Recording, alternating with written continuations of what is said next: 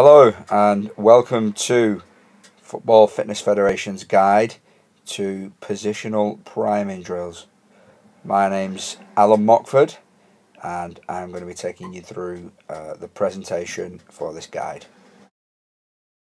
So this guide is uh, positional priming drills and how to apply them. There's a quick overview of what we're going to go through. So we're going to be looking at uh, what priming drills are, uh, why you should be using them, uh, when you should use them, so the timings of it, individual, positional versus group and general drills, and the last thing we're going to look at is position specific drills uh, that you can assign to your players and they can carry them out and it's specific to the position.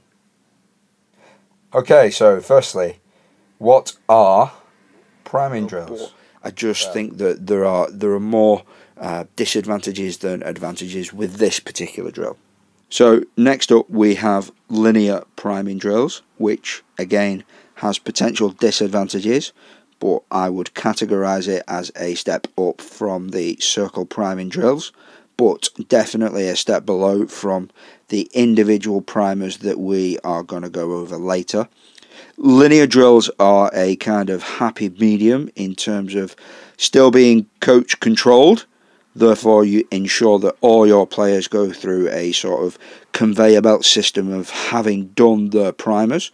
We have a video here of Manchester United performing uh, a linear priming drill. This type of drill can still be a little bit contrived, but players have like an added motivation of another player breathing down their necks right behind them, giving them a little bit of a push along the way. So the drill will have the uh, intensity that you're looking for and it will be performed in an explosive manner. It's a little more discreet than the circle drill as it can be done at the side of the pitch or off like near the dugout. Uh, so it's not as obvious to the opposition what you're up to, and you're not going to give off any overt signals, which is a good thing.